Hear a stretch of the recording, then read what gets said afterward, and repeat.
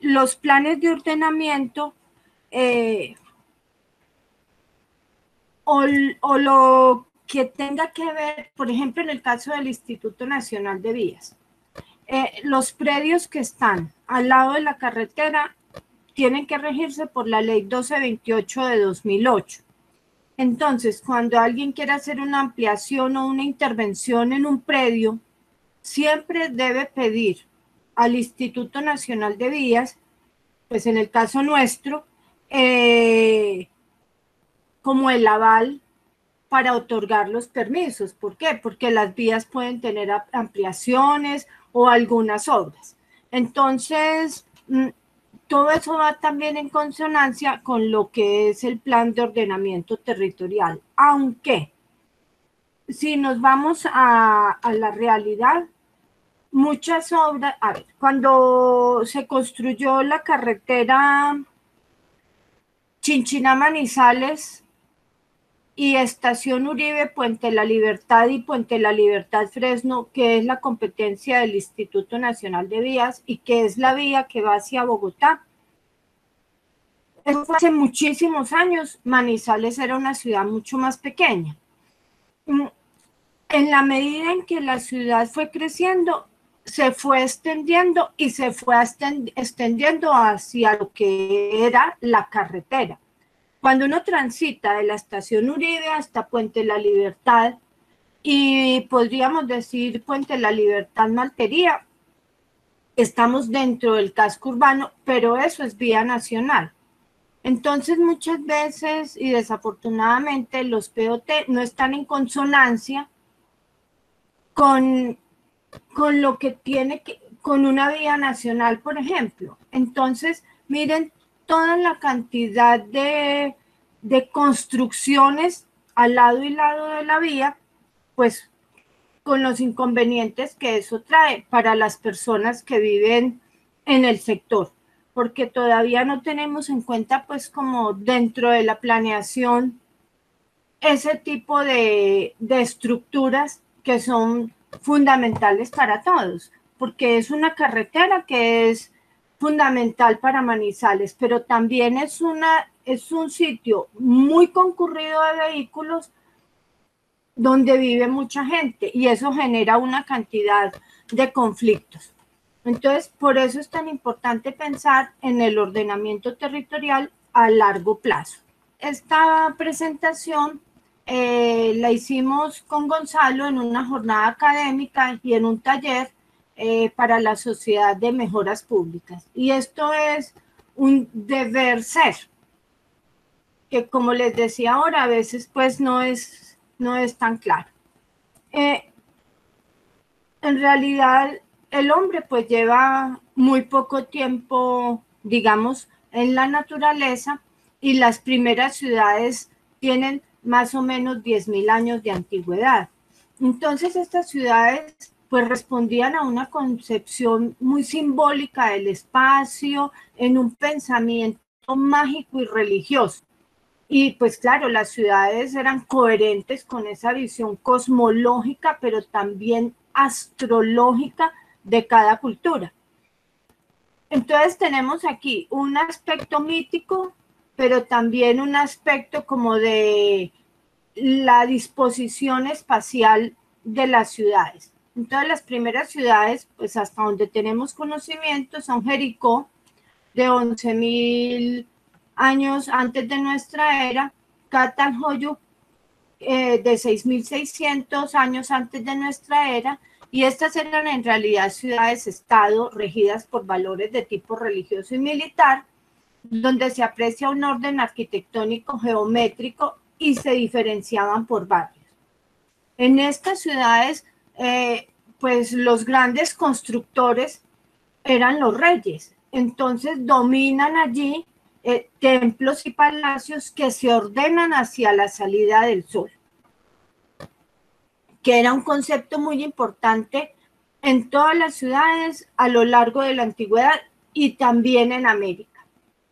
Eh, Mesopotamia, Sumeria y Asiria. Entonces las ciudades en realidad eran pequeñas, amuralladas y al principio tenían un trazado irregular eh, propio para las contiendas eh, guerreristas de la época, pero con el paso del tiempo se van haciendo reticulares, como tenemos el centro histórico de Manizales y generalmente se construían alrededor de un templo.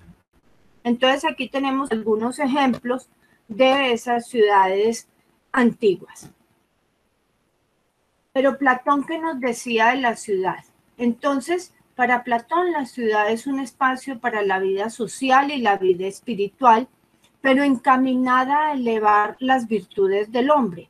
Y sus tres modelos de ciudades teóricas o ciudades ideales tienen en común la planta circular, que muchos atribuyen a influencias indoarias. Entonces, la visión política de la ciudad que refleja Platón lo podemos encontrar en su obra tan famosa La República, en donde esa concepción corresponde a ese modelo de la polis griega, de la ciudad-estado. Y aquí tenemos algunas de las ciudades griegas eh, más importantes. Pero Aristóteles, que dice que el hombre es un animal político, acentúa ese carácter político de la ciudad y la define como un conjunto de ciudadanos, de manera que la ciudad no es en realidad un espacio físico determinado, sino un conjunto de hombres libres que en común ejercen sus libertades públicas y otros aspectos son secundarios.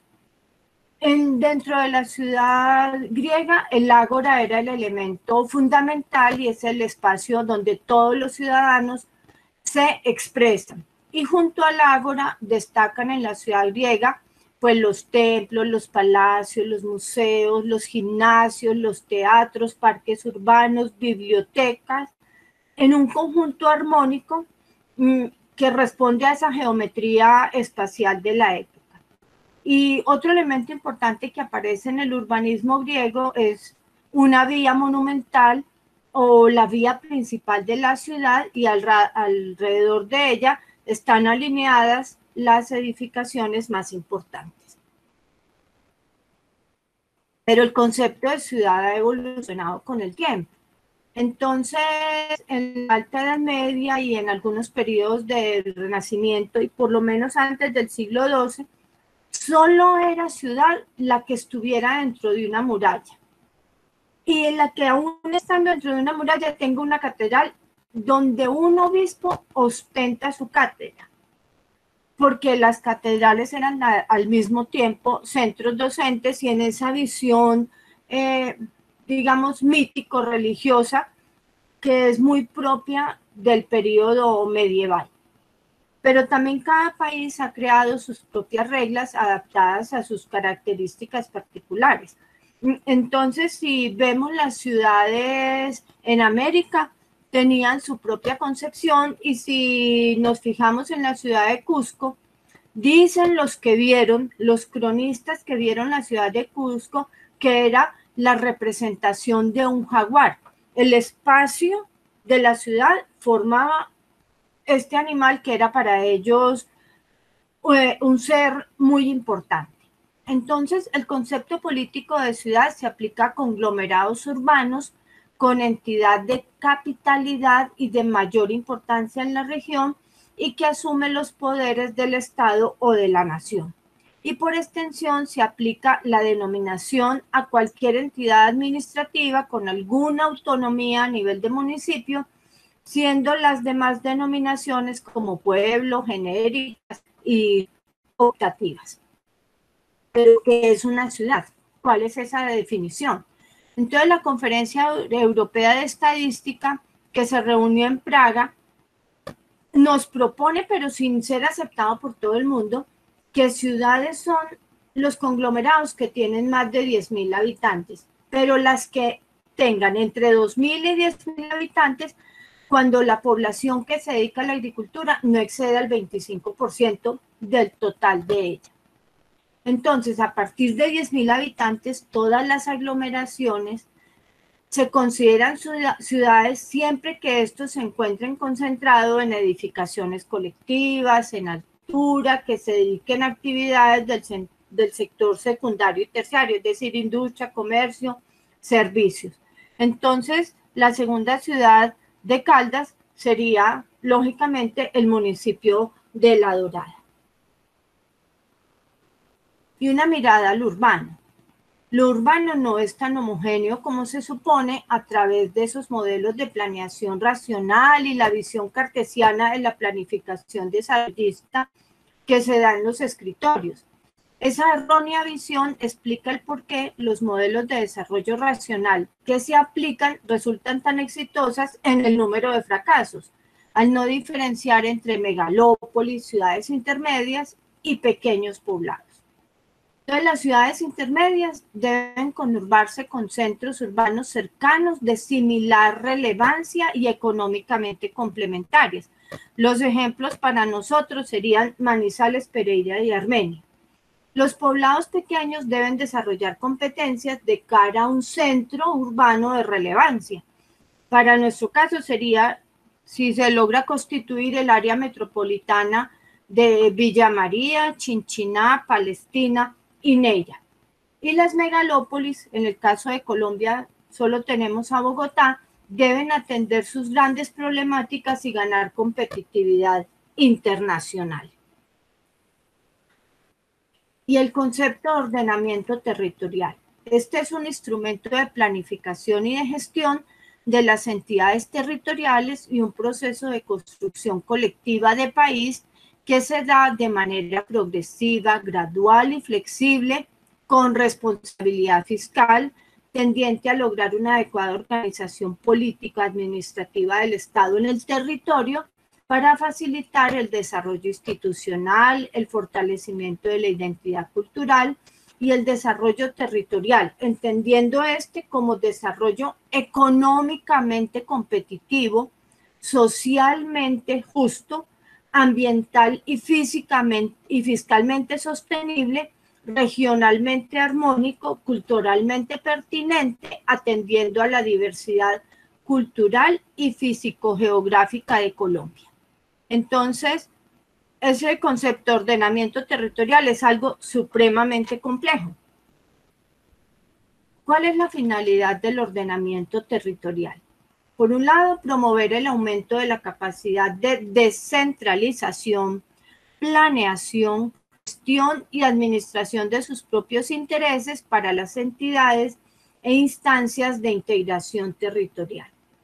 Por el otro, fomentar el traslado de competencias y poder de decisión de los órganos centrales o descentralizados de gobierno en el orden nacional hacia el nivel territorial pertinente con la correspondiente asignación de recursos. Por otro, propiciar las condiciones para concertar políticas públicas entre la nación y las entidades territoriales como reconocimiento de la diversidad geográfica, histórica, económica, ambiental, étnica y cultural e identidad regional y nacional. Y esto es algo pues en lo que todavía diría que estamos en pañales. La ley 388 de 97 de ordenamiento territorial tiene unos objetivos. Entonces, primero, armonizar y actualizar las disposiciones contenidas en la ley novena de 1989 con las nuevas normas establecidas en la Constitución Política la ley orgánica del plan de desarrollo, la ley orgánica de áreas metropolitanas y la ley por la que se crea el Sistema Nacional Ambiental. Como segunda medida, el establecimiento de los mecanismos que permitan al municipio, en ejercicio de su autonomía, promover el ordenamiento de su territorio, el uso equitativo y racional del suelo, la preservación y defensa del patrimonio ecológico y cultural localizado en su ámbito territorial y la prevención de desastres en asentamientos de alto riesgo, así como la ejecución de acciones urbanísticas eficientes. Entonces, si esto fuera así y si se cumpliera, eh, las personas que han construido eh, al lado de del río Chinchiná en, en la región de la Enea, en el sector de la Enea, entonces no tendrían sus casas están pegadas al río Chinchiná, con todos los inconvenientes que eso trae. O como en algunas ocasiones, eh, extracciones mineras lejos de las vías generan a la vía, pero a kilómetros de distancia, una cantidad de inconvenientes y muchas veces que le han costado la vida a las personas. Entonces, eh, miren cómo tenemos que tener en cuenta mm, estos conceptos medioambientales cuando se va a disponer la construcción de una de asentamientos urbanos en algún sitio. En tercer lugar, la ley 388 nos dice que se debe garantizar que la utilización del suelo por parte de sus propietarios se ajuste a la función social de la propiedad y permita ser efectivos los derechos constitucionales a la vivienda y a los servicios públicos domiciliarios y velar por la creación y defensa del espacio público, así como por la protección del medio ambiente y la prevención de desastres. En cuarto lugar, promover la armoniosa concurrencia de la nación, las entidades territoriales, las autoridades ambientales y las instancias y autoridades administrativas y de planificación en el cumplimiento de las obligaciones constitucionales y legales que prescriben al Estado el ordenamiento del territorio para lograr el mejoramiento de la calidad de vida de sus habitantes. En quinto lugar, facilitar la ejecución de actuaciones urbanas integrales en las cuales confluyan en forma coordinada la iniciativa, la organización y la gestión municipales con la política urbana nacional, así como con los esfuerzos y recursos de las entidades encargadas del desarrollo de dicha política. En el artículo segundo de la Ley 388, en los principios, nos dice que el ordenamiento del territorio se fundamenta en los siguientes principios. Primero, la función social y ecológica de la, de la propiedad. Segundo, la prevalencia del interés general sobre el particular. Y tercero, la distribución equitativa de las cargas y beneficios.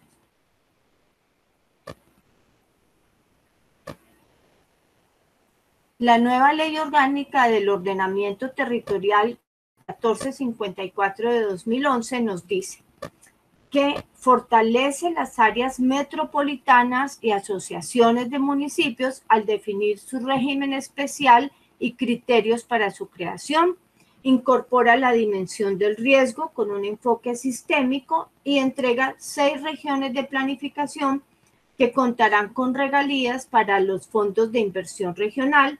No obstante, aplaza dos casos emblemáticos. Reconocer las zonas étnicas especiales y priorizar las ecoregiones.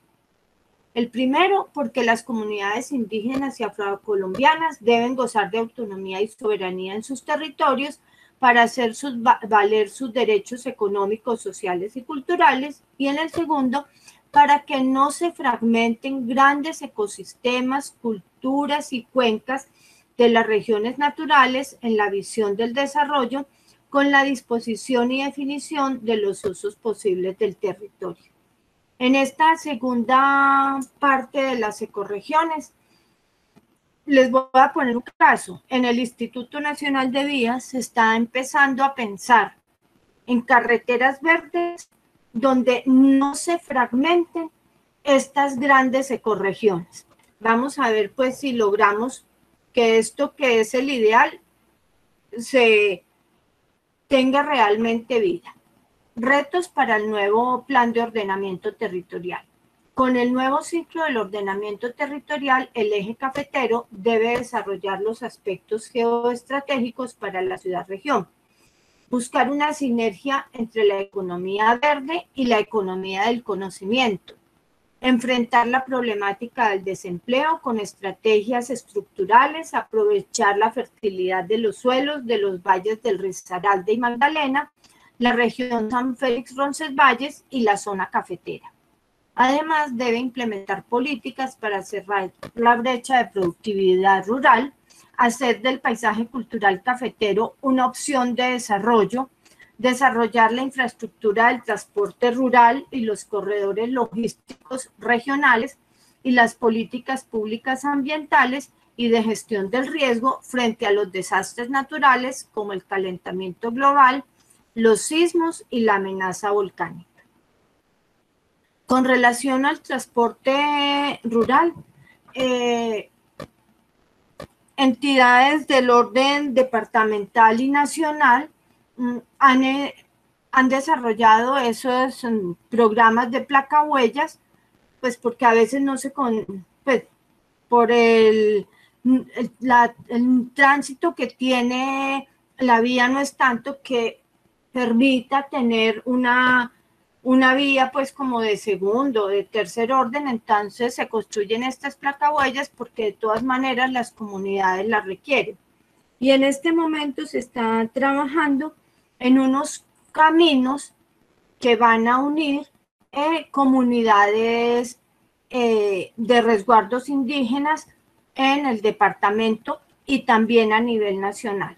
Entonces vemos que lentamente vamos creando como esa red de caminos que integran a las comunidades y que permiten un mayor eh, nivel de desarrollo para los territorios. El ordenamiento territorial es una obligación. Entonces, según la ley, los municipios deben asumir directamente el compromiso de orientar el, el, proceso de planeación y ordenamiento de su desarrollo territorial con una visión de desarrollo sostenible.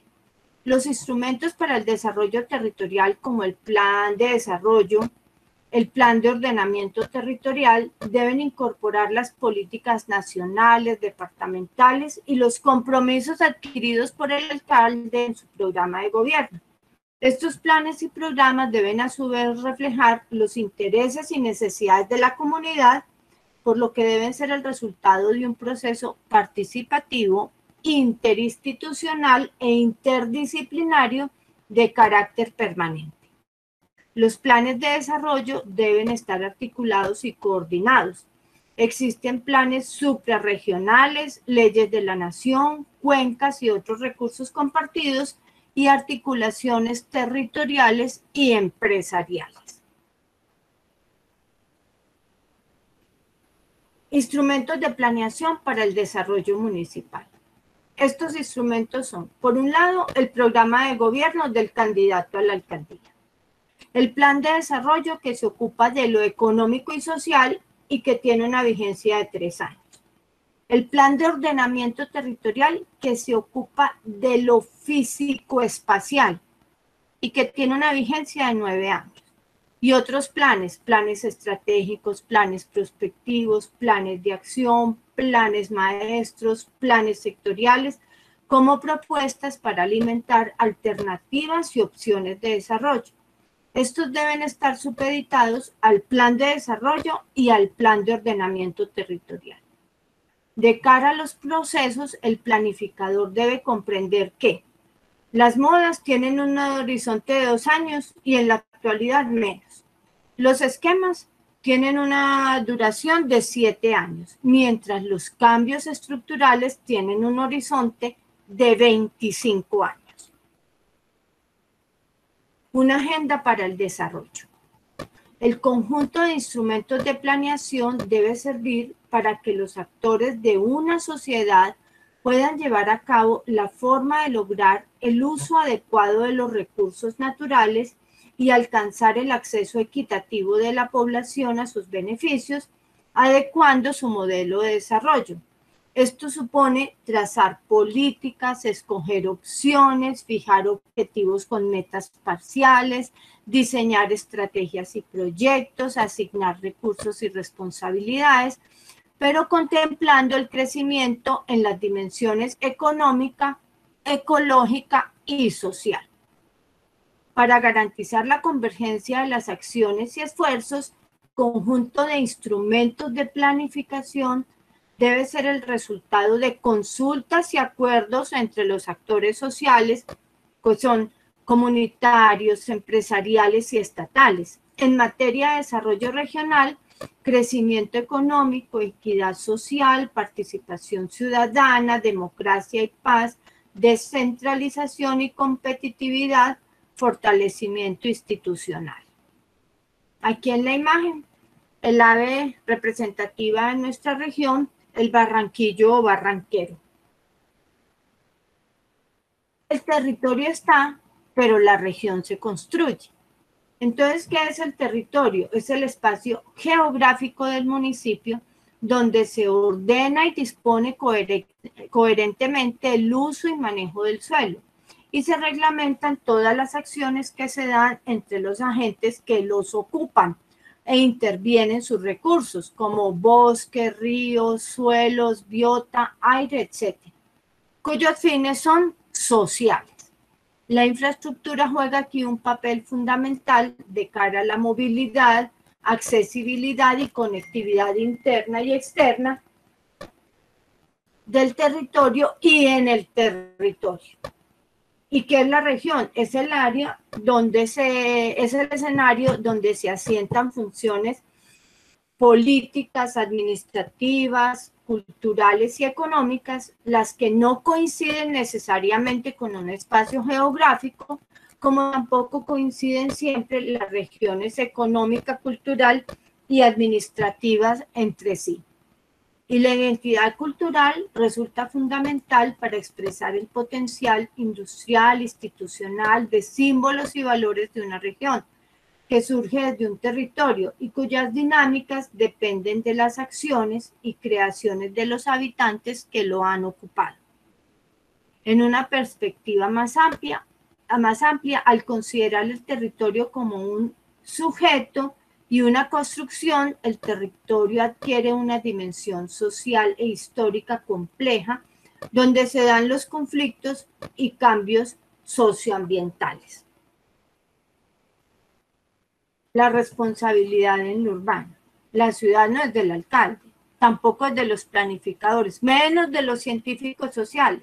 La ciudad es un escenario ambiental que se va transformando en guetos humanos, tiene dueños, es de todos y para todos y por lo tanto no debe admitir exclusiones ni exclusividades. La ciudad es un espacio común de interés colectivo y un medio tecnológico con una base natural donde convergen factores culturales.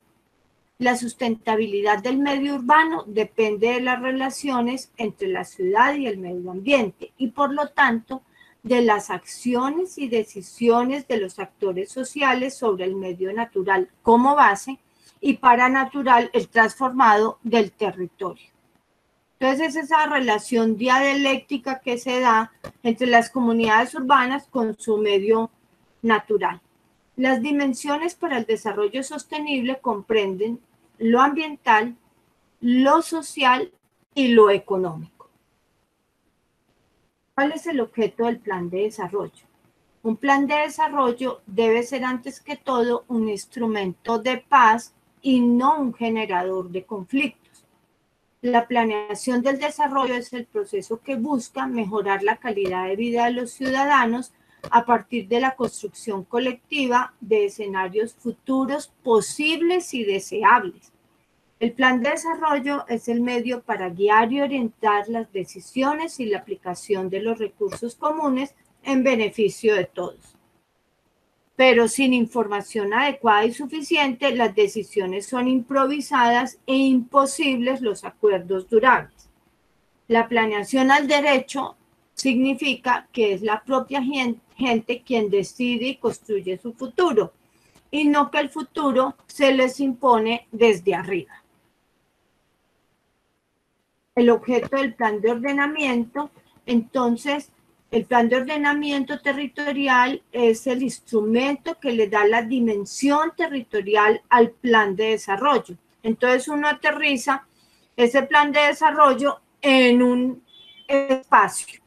Entonces, el POT es el proceso mediante el cual se disponen o se ordenan los elementos y actividades en el espacio geográfico es una política del Estado para promover y administrar una ocupación concertada y planificada del territorio y la localización de las actividades económicas.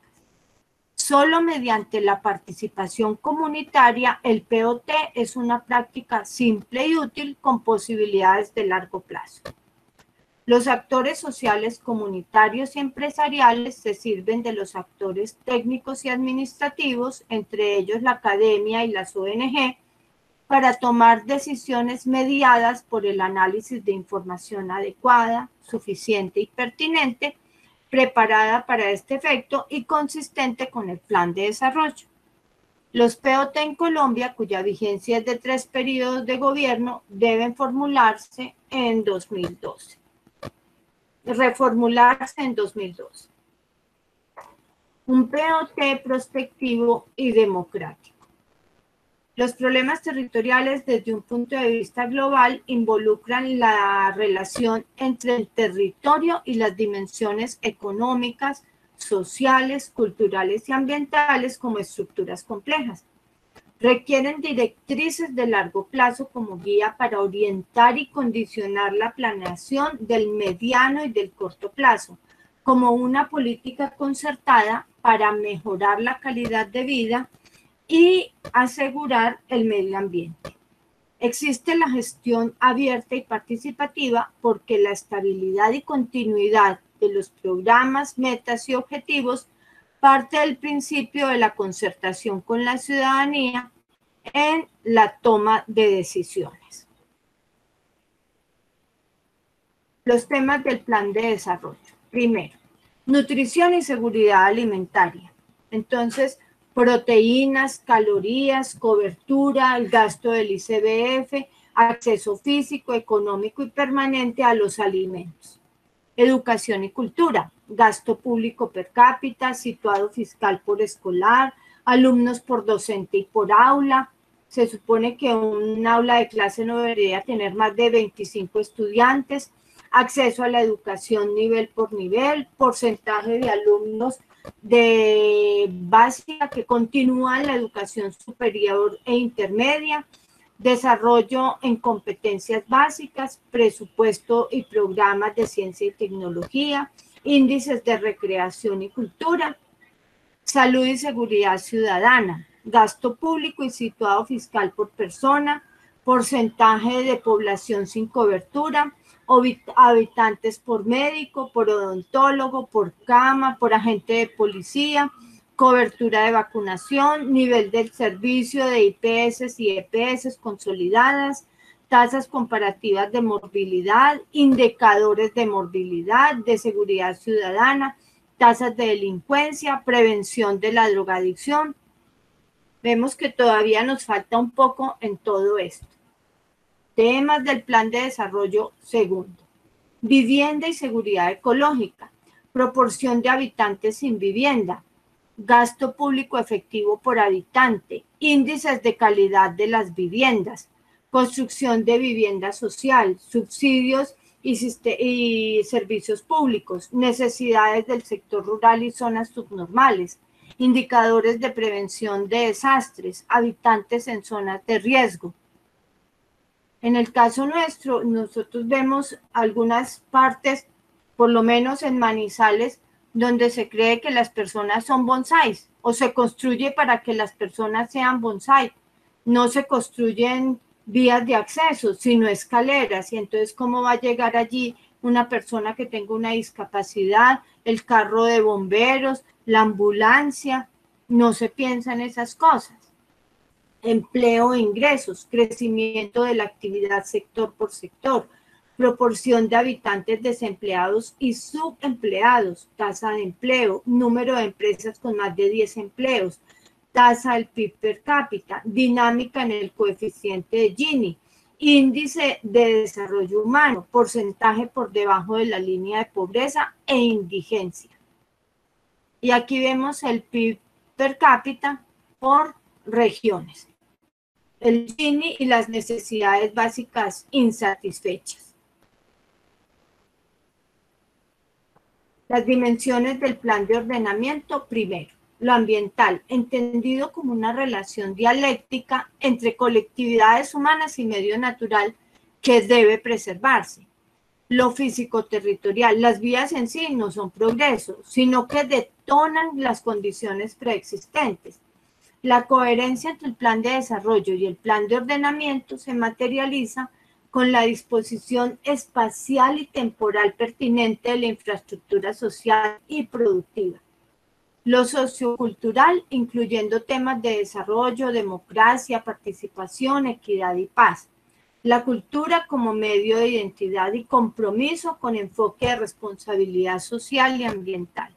Y en lo económico como aspecto que condiciona la política y la justicia social en un escenario de globalización y apertura donde el Estado debe responder por lo que no resuelve el mercado.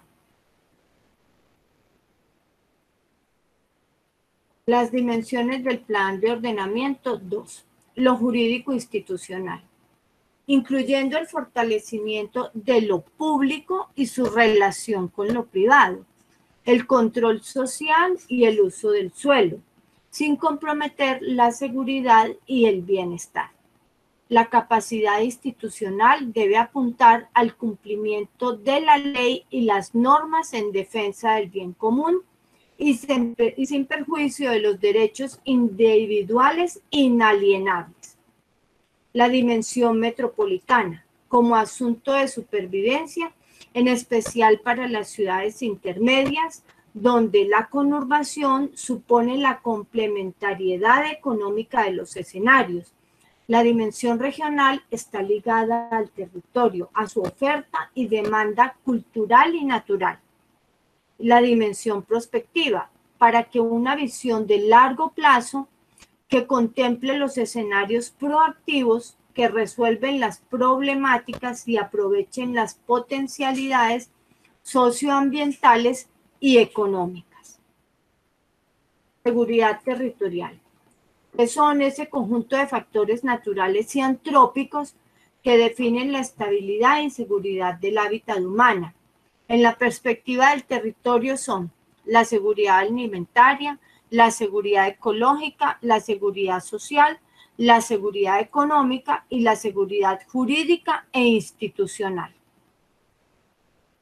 Esto se adaptó del marco conceptual para la formulación de una política de gestión integral del riesgo.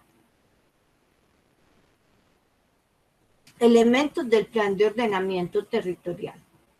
El plan de ordenamiento debe llegar a trazar políticas, acciones, programas y normas en sus dimensiones o escenarios para hacer viable el plan de desarrollo. Entonces hay una parte general eh, que es lo del largo plazo para el municipio, el nivel de consenso en lo fundamental, grandes propósitos, su relación con el contexto eh, regional.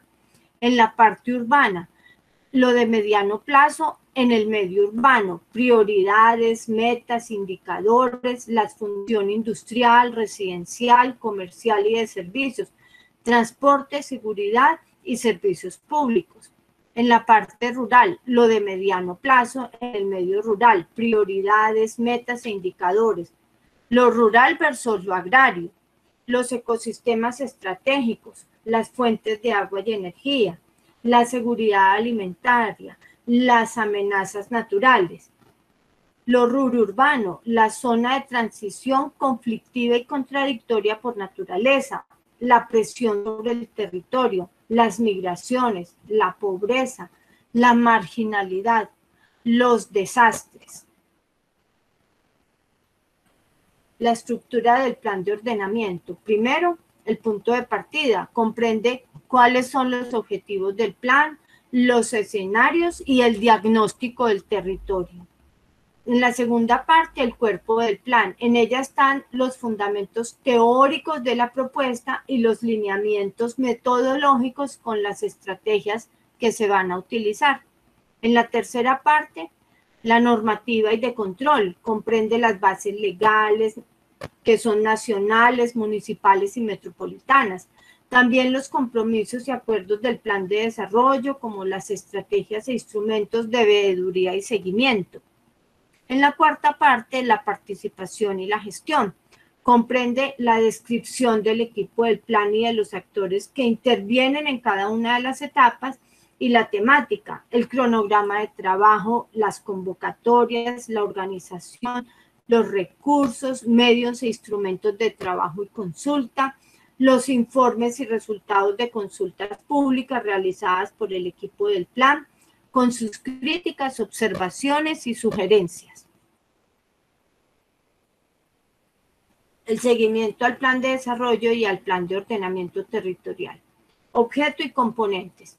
La gestión institucional, la gestión del desarrollo, el proceso utilizado, el producto y su impacto esperado, los objetivos y las metas, los agentes de la evaluación, el alcalde y su equipo, la ciudadanía, por ejemplo, las sociedades de mejoras públicas, las organizaciones de base y comités especiales, el Consejo de Planeación Territorial, el Consejo Consultivo Territorial y el Consejo Municipal, en esta parte intervienen muchas ONG.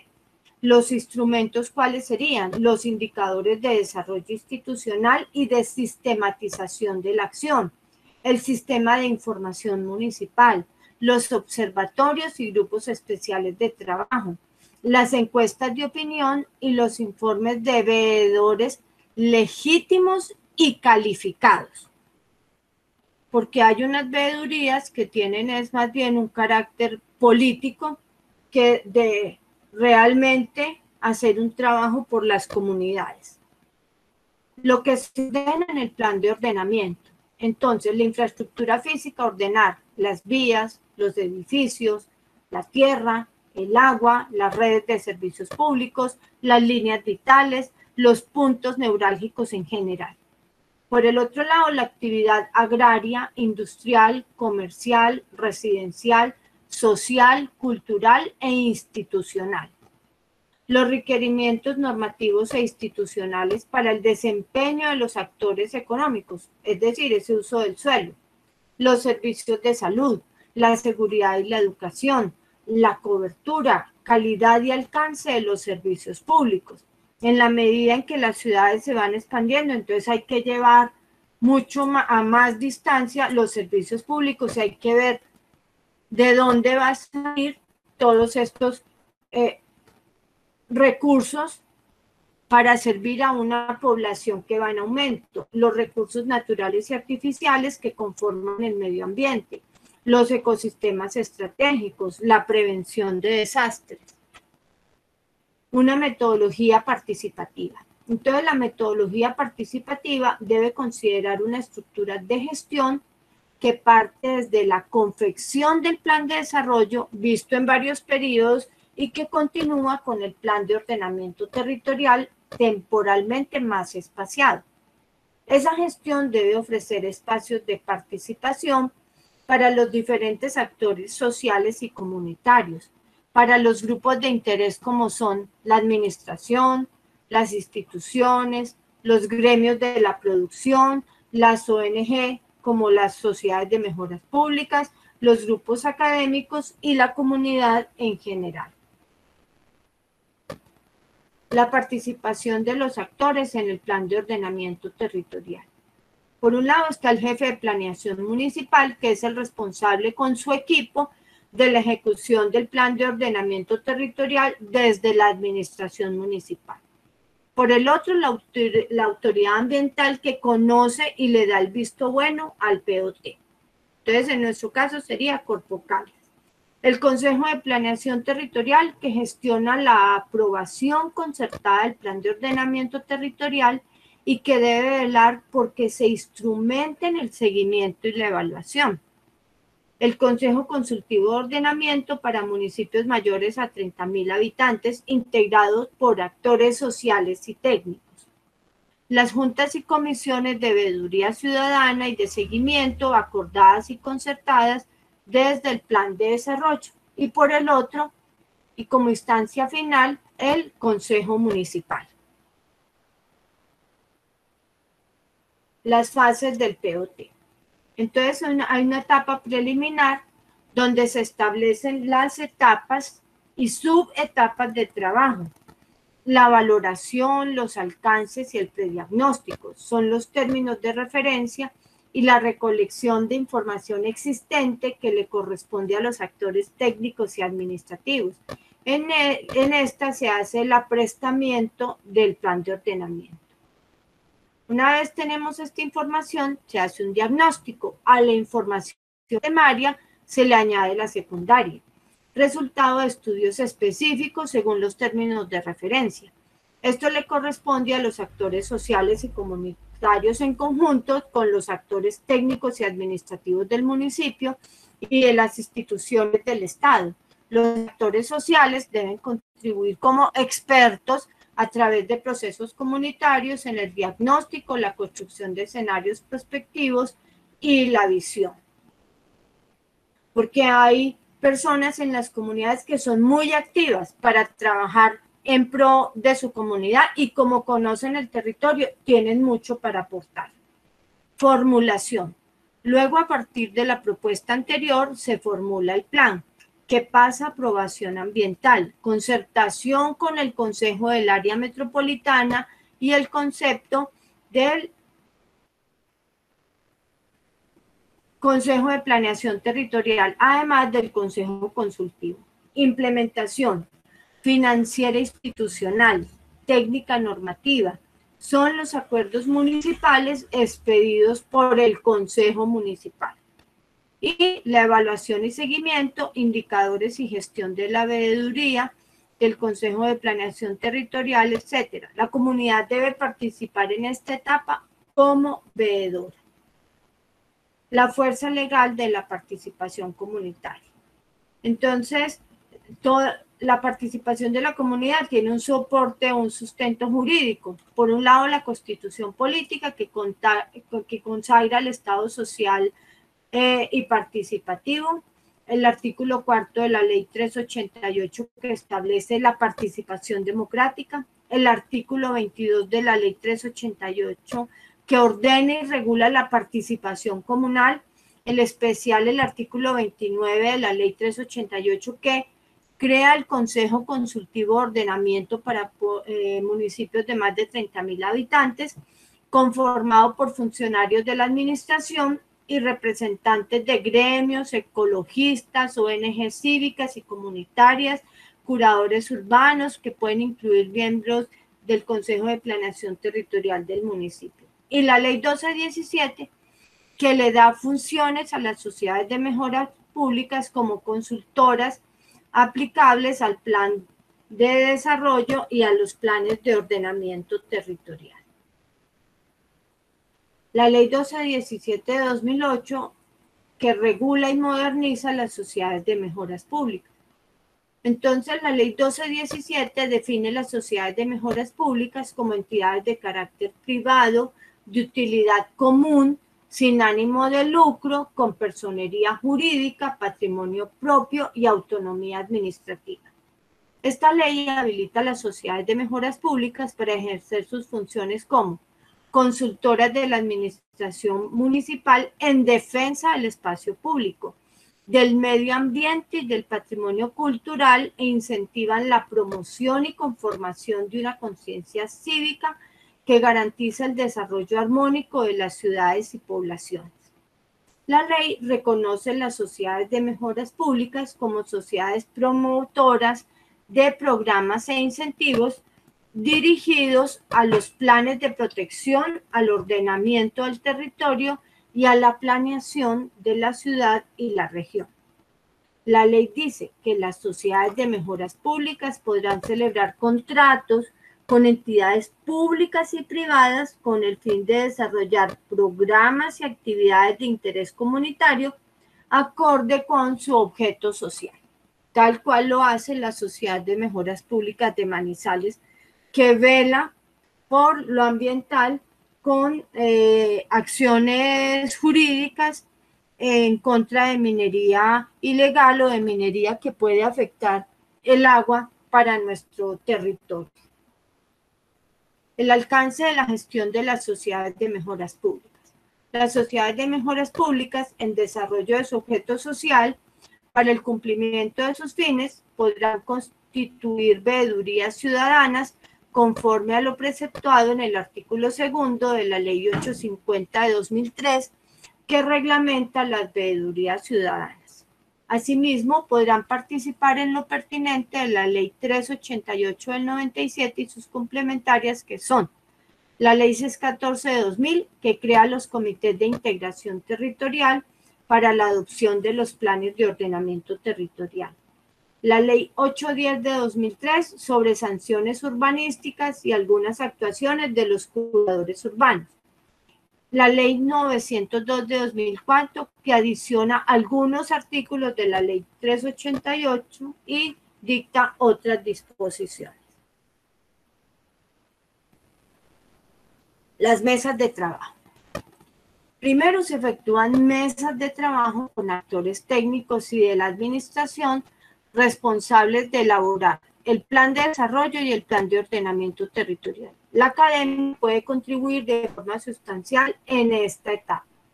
Luego, con los actores sociales de carácter comunitario y empresarial, porque este es el escenario de los conflictos y las contradicciones. El papel de las ONG es clave en esta fase. En el Consejo de Planeación Territorial y el Consejo Municipal participan representantes de diferentes sectores sociales y económicos. La academia y las ONG deben conocer de las posiciones y argumentos de estos actores. Es conveniente extender la participación a otros actores ausentes, claves en temas estratégicos, tanto externos y a las comunidades especiales y grupos vulnerables presentes en el territorio. Esta parte es un, es un poco complicada porque las personas tienen que estar organizadas, organizadas como sociedad civil. Diagnóstico de sectores y actores 1. En el diagnóstico se conocerán las características del municipio con su oferta ambiental y cultural y deben listarse las principales problemáticas y potencialidades en los aspectos sociales, ambientales y económicos. Se listan los actores sociales y se analiza su rol y participación en el proceso. También sus imaginarios, necesidades, potencialidades y condiciones de desarrollo. Se caracterizarán los sectores económicos primario o extractivo, secundario o industrial y terciario de servicios, además de su participación económica, condiciones y requerimientos. Deben describirse sus relaciones con el sistema socioambiental y su caracterización tecnológica y cumplimiento social. Se describe con suficiente claridad la situación de las clases y grupos sociales vulnerables, esto para los estratos más pobres, para los habitantes de las comunas, barrios y veredas y para las comunidades técnicas y grupos especiales si los hubiera. Diagnóstico de sectores y actores 2. Se definirán las posibles zonas de reserva y de interés ambiental y las zonas de riesgo el uso y manejo de la transformación y disposición final de bienes procesados. Se identifican los conceptos de los conflictos de aptitud y uso del suelo, como las zonas afectadas, vectores de degradación y consecuencias ambientales. Se conocerán los aspectos de la movilidad y equipamiento social y productivo, para las diferentes funciones en las zonas urbanas, rurales y rururbanas. Se advertirá la cobertura y condiciones de servicios públicos y de necesidades básicas en zonas deprimidas, comunidades rurales y población especial. Esta se debe evaluar en términos de cantidad, calidad, continuidad y accesibilidad física y económica. Muchas variables de estas se entregan en mapas para darle su dimensión espacial.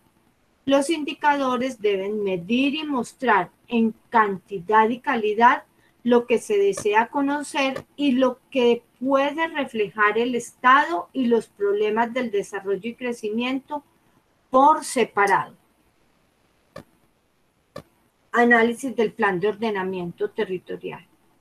La visión proactiva de futuro en las estrategias, actividades, acuerdos, metas y compromisos para veredas, comunas y municipios.